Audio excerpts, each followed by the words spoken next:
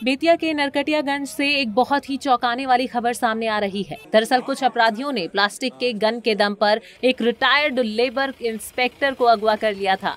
लेकिन अपराधियों की किस्मत खराब निकली और लोगों ने धावा डालकर एक अपराधी को धर दबोचा। साथ ही रिटायर्ड लेबर इंस्पेक्टर को लोगों ने अपराधियों के चंगुल से आज़ाद करा लिया। हालाँकि इस अफरा तफरी के दौरान एक अपराधी भागने में सफल रहा बताया जा रहा है कि कल्याणपुरी निवासी सत्येंद्र कुमार ठाकुर बुलेरो से नरकटियागंज लौट रहे थे।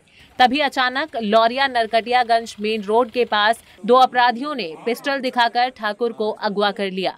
इसके बाद बदमाश फिरौती के तौर पर 25 लाख रुपए की डिमांड करनी उन्होंने शुरू कर दी। अगले दिन बोलेरो चालक ने सूझबूझ का परिचय देते हुए गोखुला थाला के पास दूसरी गाड़ी में टक्कर मार दी। इस टक्कर के बाद मौके पर ग्रामीणों की भीड़ पहुँचने पर रिटायर्ड लेबर इंस्पेक्टर ने आप बीती सुनाई। इसके बाद अपहरण के मामले का पर्दाफाश हो गया। इस सूचना के बाद गोखला स्टेशन के पास से ग्रामीणों ने एक अपराधी को धर दबोचा है। और ठाकुर को अपराधियों के चंगुल से मुक्त करा लिया गया। रात भर इधर उधर घुमाते रहा। कहाँ चढ़ा सब? लौरिया सिलौरिया ठीक। दो आदमी। उसके बाद? घुमाते घुमाते।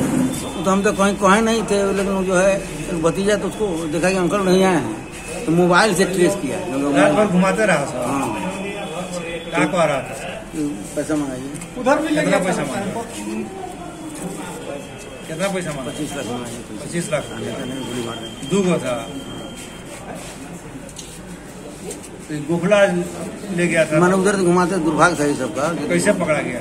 तो उधर से ये सब पहुँचा ना अथी सब तो हाथ दिया तो नहीं रोका।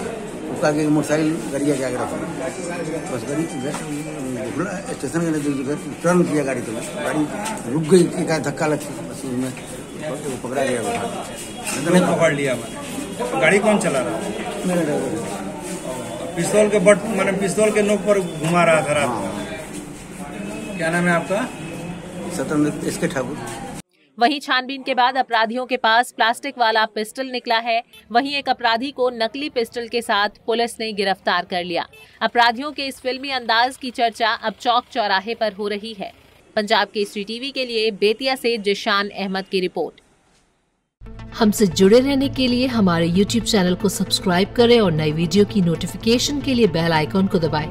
अगर आप ये वीडियो Facebook पर देख रहे हैं तो लाइक ज़रूर करें और ज़्यादा से ज़्यादा शेयर करें। धन्यवाद। हमसे जुड़े रहने के लिए हमारे YouTube चैनल को सब्सक्राइब करें और नई वीडियो की नोटिफिकेशन के लिए बेल आइकॉन को दबाएँ। अगर आप ये वीडियो Facebook पर देख रहे हैं तो लाइक ज़रूर करें और ज़्यादा से ज़्यादा शेयर करें धन्यवाद